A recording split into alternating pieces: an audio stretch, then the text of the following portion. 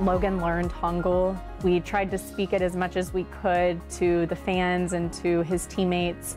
So I think because we tried to dive into their culture, they were appreciative and um, did whatever they could to communicate with us.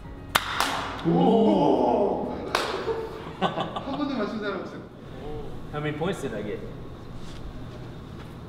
10 10. 10, 10?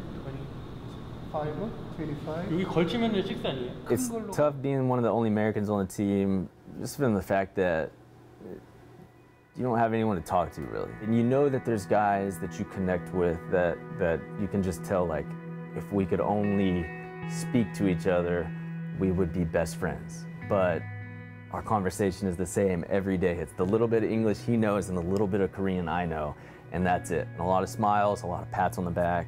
Um, and you can get by with that, but that's just so tough because, you know, in, in baseball, like that's your brothers out there for, for nine months.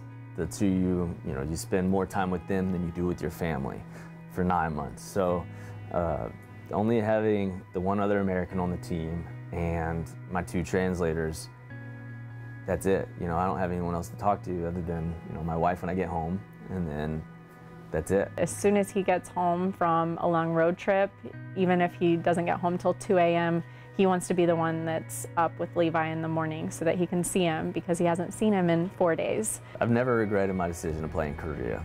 There's been times where I wondered if it was the best decision for me, but that, you know, baseball is hard. I would question that if I stayed in the States and, you know, if, even if I was in the big leagues the whole season. All in all, like, Korea was, was amazing. We're very fortunate and, and, and glad that we were able to do that.